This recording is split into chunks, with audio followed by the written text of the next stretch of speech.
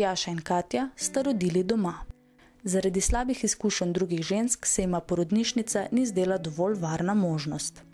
Vedela sem, da ne želim, da me kdo vodi ali pa moti.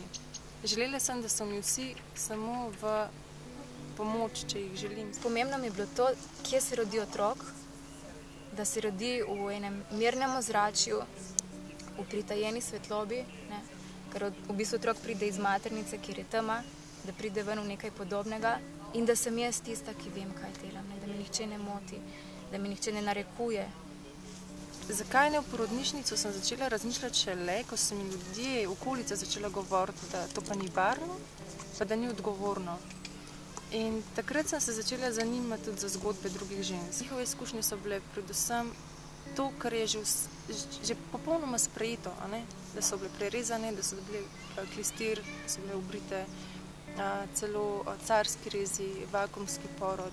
Dan D je za Katijo potekal gladko. Do zadnjega so bili popadki zelo, zelo uh, nežni, bi rekla. Ne? Sem sam začutila tlele take nežne krče, kot bi imela menstrualne krče, nič posebnega. Ne? Ko je prišla babica, ne, Ursula, ona je prišla ob desetih, me je potem pregledala in je gotovila, da sem odprta že 8 cm. Čaka, wow, tako zlahka do tukaj. Ne? In potem sem šla v vodo in je bilo tako. Oh. In potem sam zadnji moment, zadnje dobre pol ure, ne, naravna bolečina, ne, se pravi, otrok pritiska in, in si tam, ne moreš pobegniti. Brez težav pa je rodila tudi Tjaša.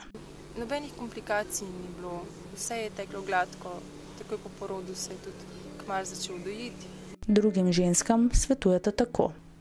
Ne si išče informacije tam, kjer, je, kjer so naklonjeni naravnemu porodu, zato ker v bistvu zaveščajo z drugimi podatki, zaveščajo te, kje si ti močna, kaj ti služi ob porodu, ne, ne z vsemi informacijami, kaj gre lahko narobe. Um, ker predvsem, kot vemo, gre veliko narobe, zato ker smo to pripravljeni, da bo šlo vse narobe in ker je vse vodeno k temu, da bo šlo narobe konc konca. Porod ni nevarna stvar.